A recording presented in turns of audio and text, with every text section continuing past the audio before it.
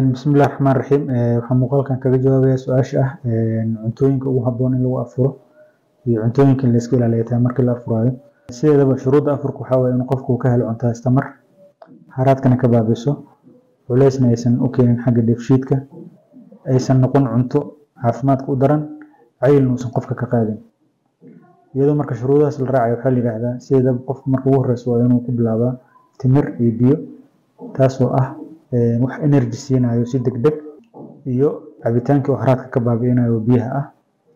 Kadib waxaa la yidhahdaa qofku waa inuu ku xijiyaa wax caloosha aanan culeys saaraynin sida maraq oo kale ama suubka ama shurbadda qolaba si u taqaanaa. Shurbaddaas dhici karto in laga sameeyo waxyaabo kala duwan. Waxaa shardi ah shurbaddaas inaysan dufan iyo saliid aysan ku badnayn.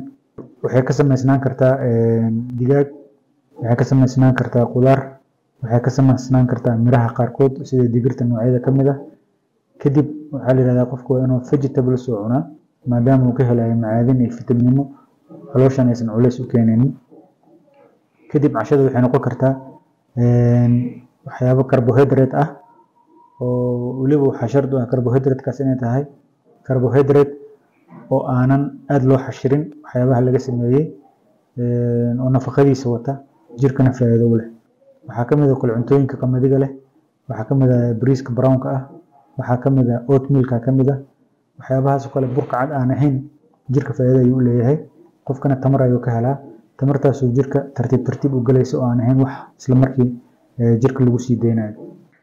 sidoo kale qofku wuxuu ku afuri karaa borotiinada jilcan sida digaag oo kale kalluunka oo kale caano cabi karaa. Hilibka oo aanan lahayn dufanka iyo baruurta oo aan la shiilin ayadana wuu ku afuri karaa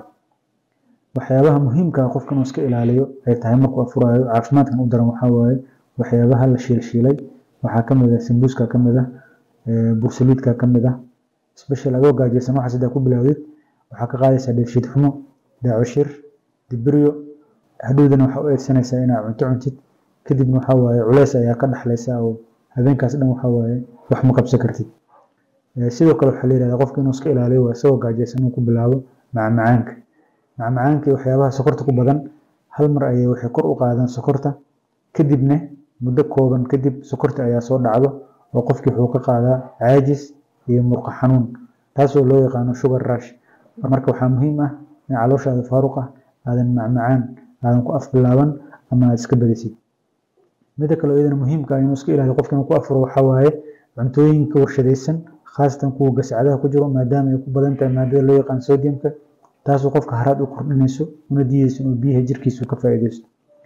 sidoo kale waxyaabaha la warshadeeyey waxaa ka mid ah cuntooyinka oo ready mealska ah oo loogu talagalo keliya qofka inuu microwave gashto oo la soo diyaariyey oo hore loo soo kariyey cuntooyinka noocaas oo kale sajalka ah ayagana caafimaad kuma roono marka cunto fresh ah qofka inuu ku afuro ayaa fiican midda kale iyadana waxaa waaye oo muhiimka ah inuu iska ilaaliyo qofka markuu afuraayo kafeega adoo gaajaysan kafe ha cabin because kafeega kaadada ayuu badiyaa. Sidoo kale hurdadana wuu qaldaa.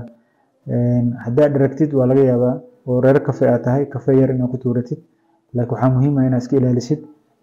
adoo gaajaysan inaad kafe ku bilaawdid midda kale waxaa waaye maadaama bulshadana aad ula nool yihiin xanuunka gaaska la yidhaahdo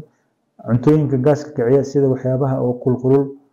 oo lagu badshiyay sida basbaaska oo kale filfish oo kale cuntooyinka aashitada ku badan tahay cabitaanada aashitada leh canjeerada qamiirka ku badan suugada yaanyada iyo shishiidka lagu badiyey waxyaabahaasoo kale u daran yihiin qofka gaaska qabo oo waxaa laga yaabaa inuu ka dhaxlo calaamadihii gaaska oo casheyn waayo oo suxuuran waayo oo maalinta ku xigtana uu tabardarri ka qaado.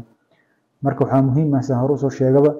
oo shardi ah markuu qofka gaajaysan yahay cunto culus ha ku bilaabin timir ku bilaaw biyo ku xiji shurbad ku xiji